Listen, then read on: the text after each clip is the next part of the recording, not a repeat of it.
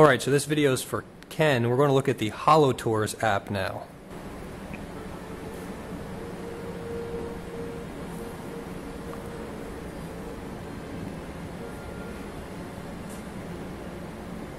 As you can see, the menus move with me.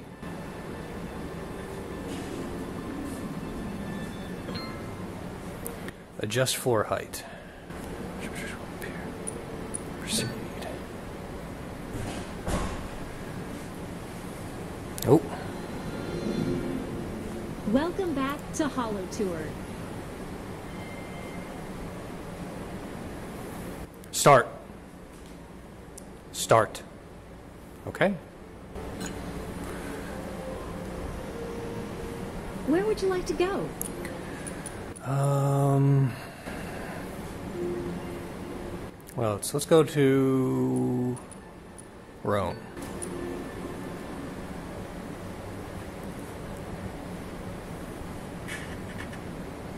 Look at this painting I brought. It's the Piazza Navona, a place where Roman artists have gathered for centuries.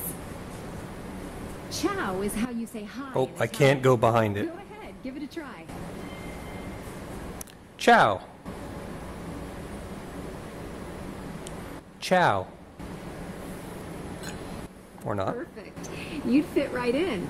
In fact, rather than just staring at this painting, let's go see Rome in real life. Oh, Feast your eyes.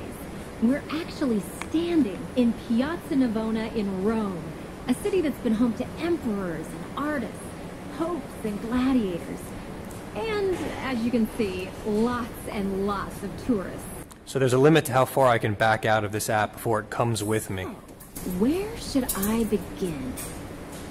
Well, when it comes to Rome, you quickly realize that stunning relics of the past are everywhere. Believe it or not, we're oh.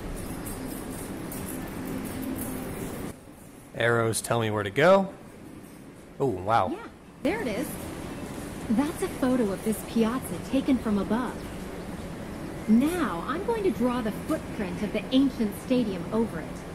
See how the piazza still follows the same shape of the racetrack? Hmm. The layers of the Eternal City go deep. Let me show you just how deep. Watch this. Hmm. Oh boy.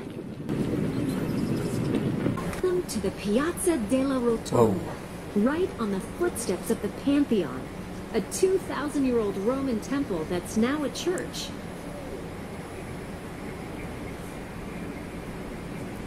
So, let's take a look at the main attraction of this square, the Pantheon. Commissioned It's hard to see. Hadrian, it was built on top of earlier temples. The first version was made by Marcus Agrippa. I can see just slightly left and right of the text we see here to give you an idea of how wide it is. And I can see just the letters on the top and just the top of that statue for the height. Building when consul for the third time. That's the classy way to say Agrippa was here. The temple's dome-like structure was chosen to invoke a feeling of the heavens. Hmm. It's kind of hard to visualize from out here, isn't it? There. Oh. Now you can see what I mean.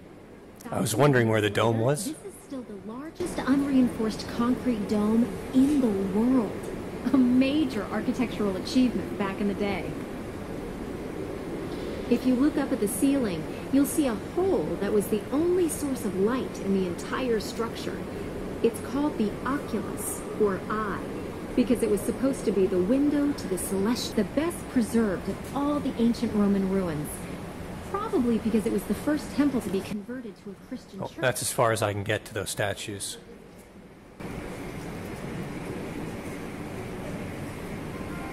Oh. The Oh. water from that drinking fountain comes from a reconstructed aqueduct that was first built nearly 2,000 years ago. It's as close as I can get to it. Tastes like history.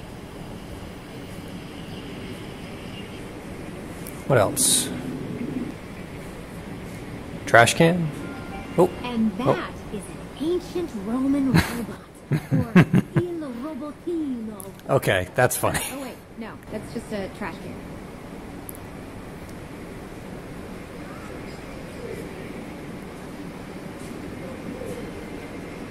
Can we go in? Inside the building are tombs of two of Italy's kings, as well as the resting place of one of the great geniuses of the Renaissance, the artist Raphael. How do I go back? There we go. In the 1800s, the piazza was used as a Oh. Passport. Visited. Oh, you can rate the places? Alright. Secrets. Robot Robotino. Peru. Alright. So how do I go back? bird market. Okay. Clicking and holding takes you back here. Let's go Do you wanna to, to the globe? yes. Let's go somewhere else. All right. You should go check Um. out the passport when you want to view your progress. You can say I can click to spin. at any time during the experience to check it out. All right, let's go to Peru. Peru, please. Uh, select panorama. What's that? Ooh, oh, you have to unlock them, I guess. All right, let's go back. And nope. Okay. New tour.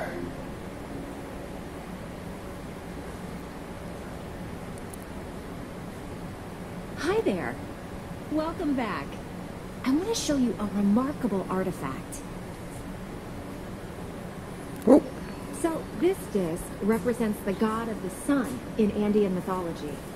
So there's a limit to how close they'll let me get. The ancient cultures And from what angle? Oh, wow, actually, no limit. fascinating ruins that remain to this day. Let's go see for ourselves.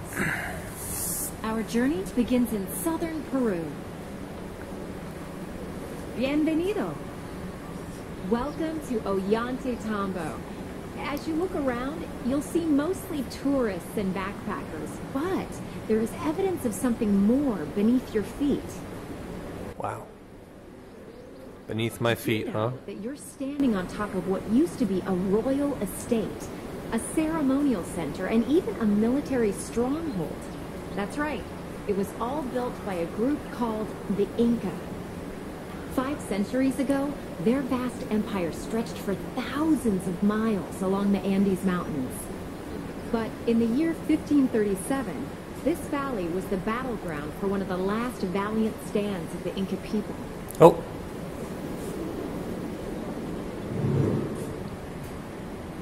A small band of Spanish conquistadors leading 30,000 Andean mercenaries marched through this canyon. It did not look good for the Inca. They were outgunned and needed to even... The emperor's men released water from a dam, flooding the gorge to the east.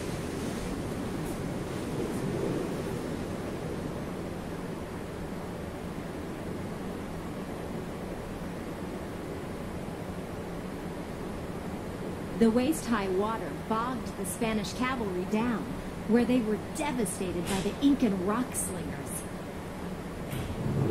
Thanks to this brilliant strategy, the emperor lived to fight another day, eventually escaping to the legendary city of Vilcabamba.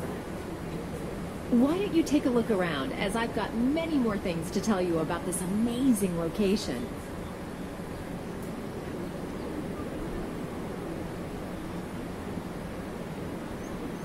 Incan tombs like these built into the mountains all around here. Some are still being discovered by archaeologists.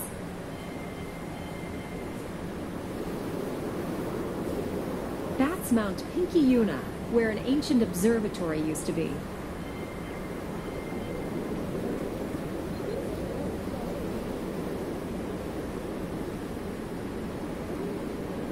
We're above the wall of the six monoliths. This is an important archaeological site.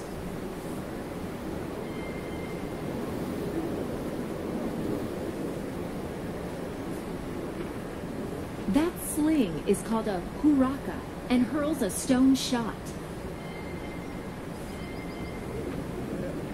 This helmet was worn by conquistadors, mercenaries sent by the Spanish Empire to explore and conquer the Americas. Incans were expert marksmen, practicing with them since childhood. A warrior could hit a moving target with deadly accuracy from more than 200 feet away.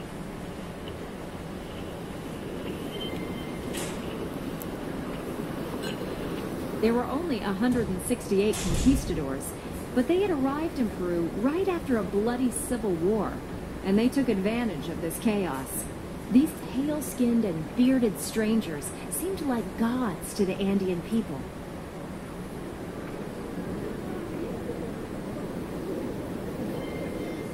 There's still more to see here in Ollantaytambo, but if you're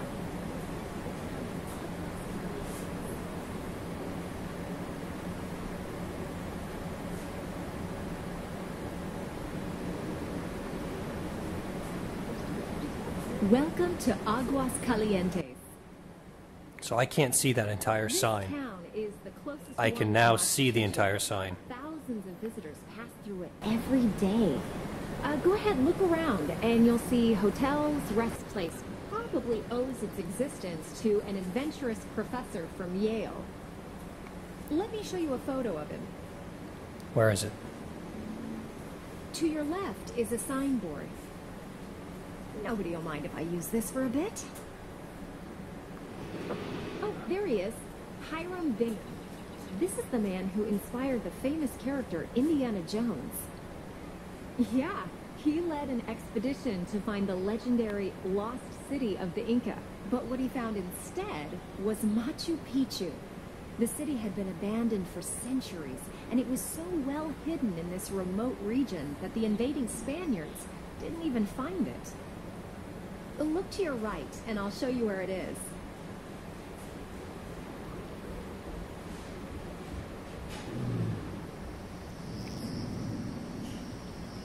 There it is, Machu Picchu. Thanks to this discovery, Bingham became an instant celebrity, and a little village became a popular travel destination. Machu Picchu, once neglected and covered with vines, is now visited by thousands of tourists every day. Before going up there, why don't we take a chance to explore Aguas Calientes?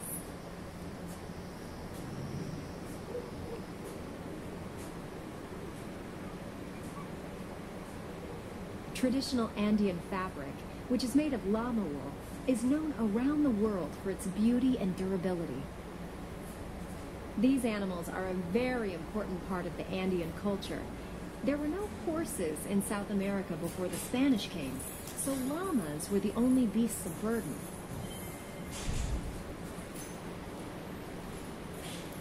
We're standing on the Peru rail tracks, which is one of the better views in town. Standing on train tracks isn't generally a great idea, but we'll get out of the way before a train comes. Hmm. That's a statue of Pachacuti. His name means he who shakes the earth.